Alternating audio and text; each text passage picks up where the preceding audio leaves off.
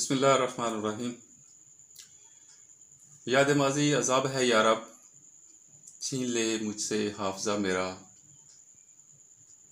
शायर अख्तर इंसारी ने तो पता नहीं ये शेर किस तनाजर में कहा होगा, लेकिन यह हकीकत के बहुत करीब है क्योंकि माजी की तलख यादें, ज़िंदगी में हुए नुकसान नामुमकिन का ख्वाब, अधूरे सपने, ये वो चीज़ें हैं जो एक नॉर्मल इंसान को जहनी मरीज़ बना देती हैं।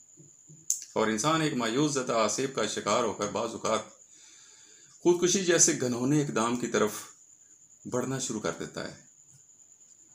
बदकिस्मती से। हम एक ऐसे माशरे में रहते हैं जहाँ तशद से पाक हस्तियों को ग़ुलाम और बुजदल कहा जाता है। इन हालात में एहसास कमतरी का अंसर गालब आ जाता है। जहाँ पर फ़ज़ा तशद नाइंसाफ़ी और हर तरफ़ फैले अंधेपन से आलूदा हो। वहाँ पर माजी की तलख यादों को बुलाना नामुमकिन होता है। ज़िंदगी में हुए नुकसान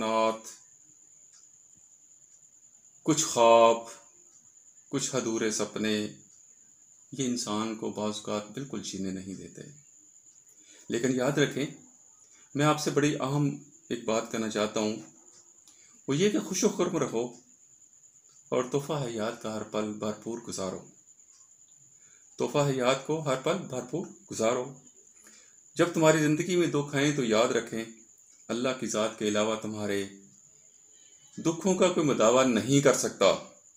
और जब कभी मौसम सरमा की शिद्दत भी आई तो याद रखना, गर्मियों की हरारत भी लौटेगी।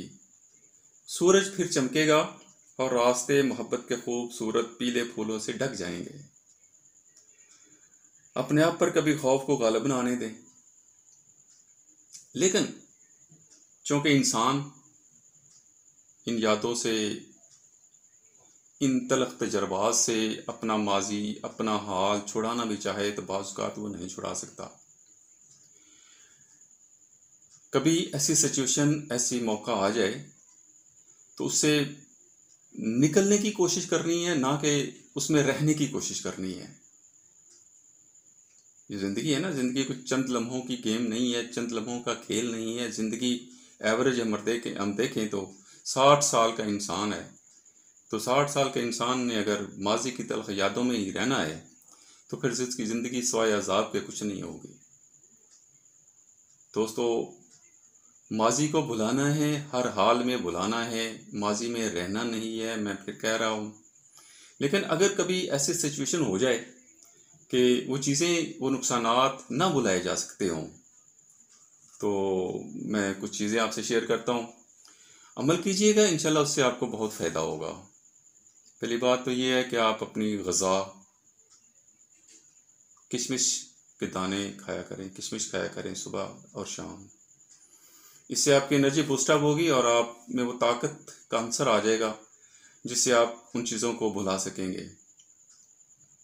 सुबह की सैर अर्गज ना भूलिएगा। ये तलख हकीकतों को बुलाने के लिए आपके लिए बहुत सूदमंद चीज़ है।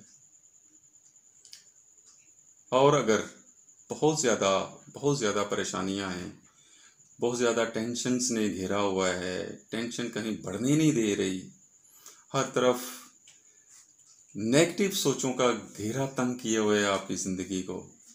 तो फिर मैं एक बहुत ही अच्छा एक फार्मूला आपको दे रहा हूँ। आपने करना क्या है? एक कमरे अलग अलग कमरे में बैठ जाएँ और आपके कमरे में जो लाइट हो वो ग्रीन कलर की हो। इसको हम हरा रंग बोलते हैं। एनर्जी से लगा लें ट्यूबलाइट लगा लें, जैसे भी आप उसको मैनेज कर सकते हैं। और दीवार से कम से कम चार फुट के फासले पर या जो कमरा है, आपने उसके सेंटर में बैठना है, बिल्कुल बीच। और सामने दीवार पे एक वाइट बोर्ड वाइट चार्ट ले लें। वाइट चार्ट पे आपने ब्लैक कलर में, उर्दू में अल्लाह लिखना है।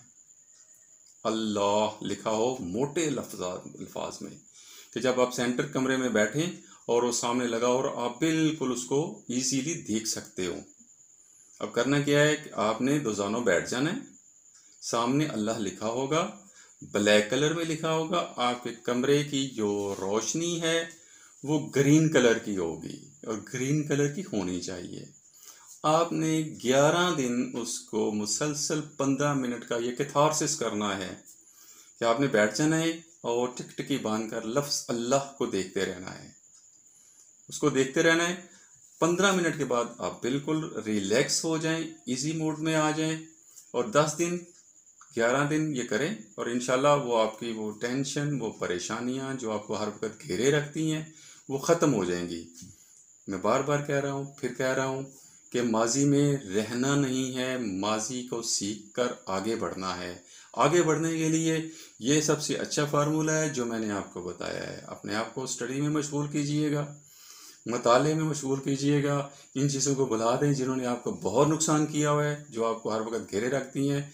अच्छे दोस्तों का चुनाव कीजिएगा, अच्छी गेम्स का चुनाव कीजिएगा, अच्छे सब्जेक्ट का चुनाव कीजिएगा, ये आपकी ज़िंदगी बदल देंगे।